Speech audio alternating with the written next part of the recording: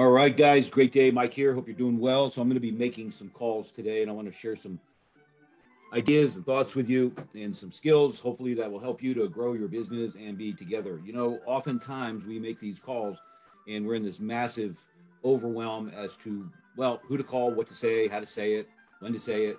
And uh, really, depending upon what you're doing, your goal, your outcome, whether it's to secure an appointment to go meet somebody for the first time, uh, for a, an appointment if you're in the real estate space, to preview a home, maybe to go to a listing appointment, to meet a buyer, um, to go look at a, uh, speak to an, uh, another investor about a property that you may want to consider buying, or you have a client that wants to buy something, uh, then uh, you know it's kind of that thought. What do I say? And oh my gosh, well, there's the construct of your preparation that helps you to get through this.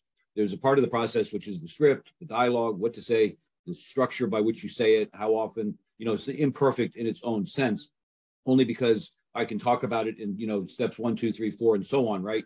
And uh, sure, that logically uh, might sound correct, but um, at the end of the day, let me just mute this. At the end of the day, really, really comes down to um, understanding that conversations are just that they're conversations. You know, we hear the term script, dialogue. What do we say? How do we say it? What is the order by which we say it? And all of that is important, as I said. However, here's the deal you're just having conversations with people, and how you're having those conversations with a series of questions that enable you to uh, to gain answers and rapport with people so that way you could then move the conversations forward. That makes sense? Because if we're just talking and spewing or we might even ask a question but never listen to the answers and respond according to what that answer may have been from the person you're speaking with then now it becomes more of a monologue right to that point. So if i'm right now speaking with you at this point i'm giving you some content some information some ideas and concepts uh, at this point because there's nobody else i'm talking to directly on this particular zoom here that i'm doing um, then it's more of a monologue right? So when you're talking with people in a real world situation, you have to think about it as a dialogue, right? A monologue is one to many, and a dialogue is two people or more communicating and having conversations, thus making it a conversation that uh, evolves over time. So, in this process, what I want to share with you today is I'm going to make some calls with people uh, so that way you could get a justifiable idea of the sense of this, right? In the order of importance, there is none, but also there is. Okay. And what I mean by that is if you understand that there's certain questions to create a framework for a conversation that will enable you to take it to the next step, whatever that step might be, whether it's to do nothing or to do something or to follow up or whatever it might be. Um, if you miss on some of these steps in terms of what you probably should be saying, right? Uh, not necessarily in the order they should be say, being said, uh, you're missing out on a great opportunity because you don't want to skip some things or just some things you don't want to miss. And what I mean by that, in its essence, is I'm an investor. I call on homeowners, people who want to sell their homes. I might speak to a realtor who has some off-market trend uh, opportunities for me to take a look at, and so on. I might be calling an expired listing to uh, to see if they want to make a, get an offer on their house, and I can make an offer to them. And I want to learn about their situation. A by owner the same way. If I'm in the retail se- uh, sector, which I'm strictly doing that in and of itself, my goal is to make sure that I get some questions uh, answered so that I can make an intelligent decision as to what I'm going to potentially do with that opportunity. So um, in the order, sure, there's uh, you know condition. You know, first they they have an interest in wanting to potentially do something. It's either it's a firm yes, or I'm I'm a bit unsure now, or it's a maybe, uh, or it's a hard no. Right? It's a hard no. I don't want to sell. I took it off the market. Whatever the case might be, depending upon where that lead came from, then it is at that point you'll see what happens. You know, so I call up somebody and I say, "Hi, my name is Mike. I was calling about your house that I saw on Zillow, and I wanted to see if you had thought about selling it." Okay, or it could be a cold call where I say that. Let me step back here. See, there you go. Okay, but within the framework, I'm asking somebody if they want to sell. Right? If I'm calling somebody off of Zillow and the property is there that it says for sale rather than just a list of properties, then I'm going to ask, "Is your property still for sale?" And yes, it is. Terrific. Are you? Uh, I want to send you. I want to talk to you about making an offer to you. You got a couple of quick moments. Sure, I do. Great. And then I go into the construct of the conversation, i.e., that would represent the condition of the property. As an investor, I want to get an idea about condition. I want to get an idea about their motivation, time frame, why they're doing what they're doing, and then the third, a fourth thing would be uh, typically wrapped around price. There's other uh, things inside of that, but those are the fundamentals. Okay, I want to gain a desire to want to do something so I can make an intelligent move to the next step in the conversation that I want to spend my time and invest my time doing. I just don't want to arbitrarily talk to somebody and say, Do you want to sell? Well, no, I don't. Okay, if I got you an offer that made sense to you, would you be open to hearing more about that? No, I don't. I took it off the market. We're not moving. We're not selling. Oh, okay, great. Well, just out of curiosity, if you did sell, where were you going to? So I could go that route, right? And they might tell me, well, we were going to West Palm Beach. Oh, okay, good for you. What about your plans changed? Because he keep in mind, I asked the question, they had it on the market. I'm asking them, do you are you open to a possibility of selling if you could? They said, no, we're taking it off the market. That's okay. However, I want to see if, if there's anything else I can uncover before I disengage. Often, trainers, coaches, whatever, they want to tell you just get off the phone and move on to the next. Now, in some senses, that might make sense. Okay. And I'm not going to disagree with a part of that, but I'm investing my time. And I want to make sure that when I invest my time, I want to try to do the very best I can to pull out whatever I can. And if I don't do it, because literally in this point I'm going to share with you as I complete this thought with you on this dialogue, it's literally like 60 seconds, maybe 120 seconds, two minutes, right?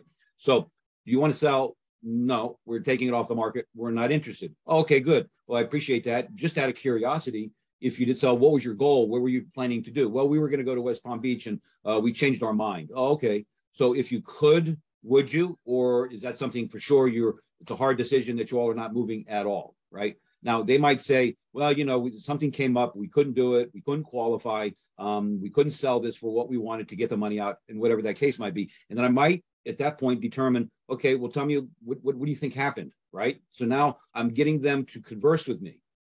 Now, part of this, in, in, in just on a sidebar here, which is really a very important part of this conversation, is gaining rapport with people in order to enable that conversation to move forward. Oftentimes, we have ways of saying things that just we do it that way and then we're done with it. I mean, I'm a driver style. I call people, do you want to sell? No, thanks. Okay, you sure? No, I'm not. I want to sell. Okay, bye, and you hang up, right? So if I don't evolve into understanding a little bit about that person and their style, um, I could lose a lot of business. And honestly, I did. I, t- I lost a ton of business because I have a certain style that some people, you know, it rubs against. From you, from your perspective, you may or may not know me, but if you do know me, you know that I'm pretty, you know, bottom line, I'm pretty challenging for most of my clients and people that I engage with. And it's just my style. It's, it, it, it, I'm a nice guy, quite honestly. I have a lot of fun. I like to make sure that I get things done. But at the end of the day, you know, I got to be more in rapport with people. And I'd make that mistake. I admittedly do that because I'm so passionate about certain things that I that I come across like abrasive or overwhelming. And part of that is first and foremost, if I've done that with you, my apologies um, in, in the sense of that I wasn't uh, appearing to have rapport with you. But again, it's my passion. So I have to take responsibility and say, you know what, let me slow down a bit uh, with some people. Other people are cool. They like that you know, like I like it. Drivers like drivers because we don't mess around. We get to the bottom line. Or if I'm a driver and you're an amiable, I might say some things that uh, I need to align with your style and so on. So um, that's a separate conversation. But just understand rapport is about connecting with people in the way that they want to be connected with. Remembering that people like people who are like them. It helps to build trust, credibility, helps the conversation stay in play. And this is a very important element of all of these conversations that are going to go down. So um, you, you don't want to lose when you can win. And if you feel that it doesn't make any sense, listen, you got to move on. Not everybody's going to want what you're offering. Not everybody's going to want to sell when you're asking them to make an offer, uh, asking them to sell, or not everybody's going to want to buy if you ask them they want to buy. It's just not time. It just doesn't make sense, right? I just did this. I just ate a big meal. I don't want any more food. I'm stuffed. I'm stuffed to the gills. I'm going to take a power nap because I'm so overwhelmed. Are you sure I can get you another round of desserts, another round of an entree, another appetizer? listen, I just finished, I'm full, right? And when people are full in their world, they already have what they want in the moment, right? Okay. There's not much you, you or I, no matter how good we are, what we do, how talented we might feel we are, that will help us to move that needle to the direction that we would like it to have happen. Sure, I want to call somebody up and I want to offer them some more dessert. And they say, Yeah, you know what? Give me another big, a big piece of cheesecake there. This time make it pumpkin, right? And so, you know, yeah, if I hear that, great. Or you know, I might be talking to somebody who appears to be settled. You know, listen, I'm I'm good with what I got. You know, I'm happy. I don't want to sell. And this example comes up. This came up the other day. I was talking to a landlord of a property that I call on, and I asked him if he wanted to sell. He said no. So often investors will call, let's say, a landlord of a property, and they get that answer: No, I don't want to sell because I'm interested in buying, you know, homes, right? And a landlord could be an ideal uh, an ideal geographic opportunity for me, psychographic, uh, uh, uh, demographic that I'm calling on because it's in an area. It's it's the type of mindset that is easy to talk to as an investor because they're already on my same playing field, so to speak. Right? Depends. You know, if they're just a you know a, a first time landlord or they moved and they just had to rent their house because they couldn't sell it. Maybe they're not as experienced as me or whatever the case might be. But frankly, it doesn't matter. But if I ask them if they want to sell and they say no, we're very happy. I appreciate your call, and I might leave the call. Okay, I left the call and say, okay, no problem. This guy doesn't want to sell. No problem. What about the fact of carrying on the conversation? Well, good for you. Congratulations. How long have you owned this home? How long have you been an investor? Do you own other properties? And you never know what's going to happen as a result of that. But oftentimes, because we fear, we don't have conversations, or we didn't hear what we wanted to hear, which was a yes, come and buy my home, come and sell my home, come and list my home. We didn't hear that. So we just shut down because we only hear one thing. What they're saying is no. And then we, when we hear no, we don't evolve into additional thoughts wrapped around that conversation. Huge mistake, guys even if you don't get anything out of furthering the conversation, doesn't matter. At least you did one thing, and that was you made the attempt, right? Because I can't for sure understand. People, keep in mind, ladies and gentlemen, are like poker players when it comes to having conversations about buying, selling, anything. Quite honestly, whether you're buying a car or you know you want to go from a uh, you know from a small house to a big house and you don't want to let people know what's going on whatever it might be buying computers buying a, uh, a freezer for your house whatever it is it doesn't really matter most of us are holding our cards to our chest we're not letting anybody see what's going on until somebody asks us a question that causes us to show the hand right? Show what's inside of my hand because people don't know you. Now if they know you it's a different type of a conversation fundamentally. Not always but it's sometimes it's more often than not it's it's a different type of conversation because you have an intimate understanding of this person's world. You maybe it's a history maybe it's a past client maybe it's a center of influence maybe you know the family. There's a number of factors that make that conversation evolve in a different way.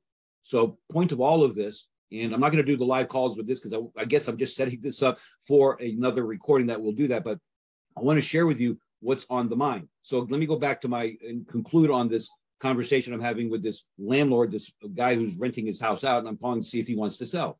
He says, No, I don't want to sell. I'm very happy. So again, I want to either end the call, okay, and I might. There are just some reasons I choose to personally say this guy is nasty, they're tough, they're mean to me. Listen, I don't need to get beat up by anybody. I'm just asking you a question, right? I hope to solve a problem if you have one. And if you want to be mean and nasty and ugly to me, I don't want to have a conversation with you because it doesn't help anything really, you know. And it's it's rare when those things happen, but there are just once you do enough of this, thousands and thousands of calls, then you'll kind of get the gist of what I mean. So for the basics of all of this, guys, it comes down to this: Are we moving our conversations forward? Right? That landlord, do you want to buy sell your property? I'm interested in buying. Are you interested in selling? No, I don't. I can click, hang up. Thank you very much. Have a nice day. Or I can say, well, good for you. I appreciate that answer. Uh, just out of curiosity. So we use words like just out of curiosity. Do you own any other property? Yeah, we have properties all over Florida. Sure. Oh, good for you. Been an investor for a long time? Yeah, we've, you know, the family, it's been, we in, inherited, but it's always been, you know, my mother and father always owned a bunch of properties and we took them over. Oh, congratulations. How many properties do you guys have? Just out of, I mean, if you're okay sharing that with me, oh, we got about 20, you know, just here and scattered around. Are they mostly houses? Yeah, they're all houses. Oh, good for you. You happy doing that? Yeah, we are. You know, um, I was I was thinking about, you know, have you ever thought about expanding your portfolio maybe to buy more homes? You know what? Um, my my my girl, my daughter, just had another couple of babies, and every time I think about them uh, having kids, I want to get them an investment property in my legacy. So yeah, we might be open to buying some other properties. Then the other thought is, um, you know, what kind of properties would you maybe consider buying? I mean, you've been in the single, so I'm hearing what they said. We own all homes. Uh, so I heard you say that you own a bunch of homes. Have you ever considered multifamily maybe as a possibility to add to your portfolio? Well, we have, but you know, it's it's it's a big undertaking, and I like my homes. Okay, great. If there was something that made sense, and you would you be open to that possibility? No, we're good. If you find a house, we're interested in that. Great. Okay. So what if I asked him that question about buying multifamily? He said, you know what? I was thinking that I would sell maybe 50% of my homes and go out and get a multifamily property. And I can get a couple of them because all of these houses are free and clear. And I got a bunch of equity in them. And I know, you know, we could probably sell these things and then go out and buy maybe two big buildings with 10 units each. Instead of having 10, I now have 20 properties from what I sold. Um, is that something that you guys do? Well, you know what? I don't have any uh, multifamily properties now for sale personally, but I do have people that do have multifamily properties that would be for sale. Can you tell me a little bit about what you might be looking for, or have you thought about it? Whatever it goes down. I don't want to get into that now because again, that's a deeper layering of that conversation. That because I could have because I said I want to learn more in my brain. I asked the question. It evolved to this type of a situation. I've had people say, you know what, I got this. I want to liquidate these to buy that. Like this example here, I want to liquidate my 10 houses to, take because I don't want to go to 10 different properties. I'd rather go to one property and have 10 units in one space. I go there, collect my rents, fix up, do whatever I got to do, and then I move on. Right. So again, it's an evolution, guys, about the conversation. The key ingredient here is you being co- conscious of the conversation. Don't be overwhelmed by the script in its perfection. I, I, in my conversations, I know exactly what I want to say. I got to make sure I know because I think of the words who, what, where, when, why, and how. Those are the six brothers and sisters that in the world of conversations are wrapped around questions, right? That we will ask other people. Okay. Who are you? Where are you moving? Why are you doing it? When do you want to do it? How do you think you want to make it happen? Whatever the question is, you begin it with a why or it's engaged, it's involved in, it's, it's related to the question in and of itself. So if you moved, where would you go? Okay. Or I could say, where are you moving to? So anywhere I put the that word in there, where, what, who, why, when, why, and how, all of those things, I could put it in the middle, the end, the beginning, as long as I integrate it into a question, in part of the question or this conversation, in that sentence or that statement I'm making, that question I'm asking, then we're going in the right direction. Okay. So let me wrap this. We'll come back to uh, some live uh, sessions in a, in a few. On my next recording, you'll see it there. But let me just construct this for you. I'm looking to see one, do they want to do something? If they say yes, then I move on to the next question. Tell me a little bit about what you have. Tell me about your property. Give me some detail and overview. Now, keep in mind, I'm talking from an investor perspective, right? And I might even do this as a retail agent, similar factor here, but that's a little bit different in a different conversation. But for this purposes here, just understand where I'm going. So I want to do something. Yes, great. Okay, tell me about your property. Okay, and they tell me about their property. Good ideally, if you did sell, what time frame are you thinking about? Would you want to do something sooner or later? Because we can help because we pay cash. We can close as soon as you want or in the time frame that makes better sense to you. What is your preference? Ideally. Well, ideally, they want to do this or that. Terrific. Okay, great. Can you tell me, you know, I, I know you I see you have it for sale here. What's your goal? Why are you keep why do you why are you getting rid of this property? Why do you want to sell it? Right. I want to get that understanding because that gives me the motivation. I put time before that because that kind of pulls an understanding to me, or what I'm hearing is their motivation inside of that time question. Well, as soon as I can, which then tells me to the next question, why are you doing this? Well, the bank is going down on us. We're being foreclosed. The tax man cometh. Um, you know, I can't afford to live here anymore. I lost my job. My wife lost her job. Whatever the case might be, they're ideally going to tell you. And you want to get a good idea what that might be. So they might say, well, it's not really a big deal. It's not, it's not a big concern. I just know we want to sell. Well, I understand that and I respect that. I appreciate that. Um, but it always helps me so I can structure my offer when I do make one to you on how to best so- solve your problem or your situation that you're going through. That's the only reason I ask. Does that sound fair? That sounds fair, just out of curiosity. I'm interested. Sounds pretty normal for most people. Does that sound fair that I'd like to know a little bit more about your motivation? I'm not saying it like that, but I said, just does that sound fair? I said a statement then I said, Does that sound fair? And they confirmed, Yeah, I guess that's kind of fair. You know, the big reason, Mike, to be honest with you, and I would say, even if they said that, I would interrupt and say, Listen, before you answer me, just know whatever you're going to tell me is confidential. Okay. And between you and me, that's all it is. I just want to know so I can help better structure. So please tell me more. Right. Now, I might not do that then. I might do it after they say what they say. So I can make them feel comfortable and confident and opening up to me because frankly, it is nobody's business. Even if I, you know, I might talk to some other investors who might like this property, but I don't need to go deep with them. I listen, I got a deal here. You want to buy it? That's it. Why is this guy selling? What's the difference?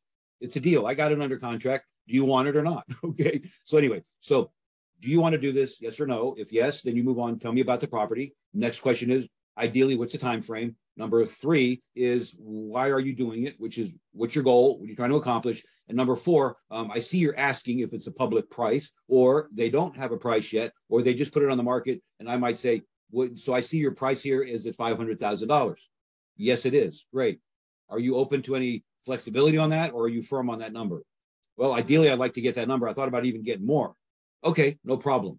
And then so now I move through that conversation once I understand their price points. Okay. So, guys, I don't want to oversimplify this. I, I might have, although this was a little bit long in, in a sense because I came in here with the original intent but I want to set this up because it's that important. So you can see where I'm coming from in terms of my conversations and dialogues with people. Listen, I've made thousands of calls. I've had teams make tens of thousands of calls, and I had bigger teams that made hundreds of thousands of calls.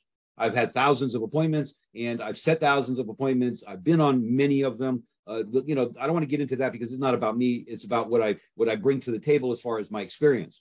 And you might be thinking, well, I've never done thousands of calls, Mike. That's okay. What I'm here to do is shorten that curve up for you. Is it an instant changeover for you if you haven't made a thousand calls, 10 calls? No, it might be. You might just have that in your brain and you grabbed it. When it hit me after two years of miserable failure, it finally clicked. And frankly, I didn't even practice to get to that two years. I just failed miserably. I didn't do what I'm going to ask you to do is fail forward fast. So that way you can get this quicker. And when I finally, when it, when it clicked with me, it just came around because I was either going to quit, get out of the business, or figure this crap out and make it happen. And I decided I'm not a quitter. I don't quit. Okay. I'll give up on, I'll quit when it makes sense because I'm ahead of the game and, you know, shifts are happening. Let me get out while I can kind of a thing. Sure. It's responsible. It's strategic. There's reasons for not quitting. It's just, you know, pivoting. That's what I would like to call it. Right. But to quit on something that I passionately know, I, you know, I well, one really want to get this thing, man. I want to get this deal down. I want to figure it out once and for all. And so rather than saying, okay, quit, and everybody's telling me to quit, and it made sense to quit. I mean, really, if you think about it, I mean, what the hell am I doing? okay. Not bringing in any money, not doing anything, not being productive. Nothing is going on. Right. So it makes sense. Listen, go get, do something at least to get some cash flow. I go bag groceries like you did when you were 14 years old. Right. Whatever the case might be. I said, no, no, no, I got to figure this out. So I picked a book up by Tom Hopkins and I read it back and forth about 500 times. I'm being facetious about that. It was probably closer to 100 times, but I read it back and forth. And I finally got what he meant. He said, follow the steps, the bouncing ball, okay, on the screen. You remember that? If you guys are old enough, they had a bouncing ball on the words, what you were watching the Mickey Mouse show or whatever on Disney, okay? Uh, or paint by picture. Maybe most of you guys remember that. Or even better, putting a puzzle together. In that puzzle, when you put the right spaces together, they connect. And all of a sudden, at the end, when you finish it, you have a beautiful canvas that you can keep or throw it together, put it back in the box, and try again another way, another day. Maybe it's going to be better this time, right? So, this is an evolution.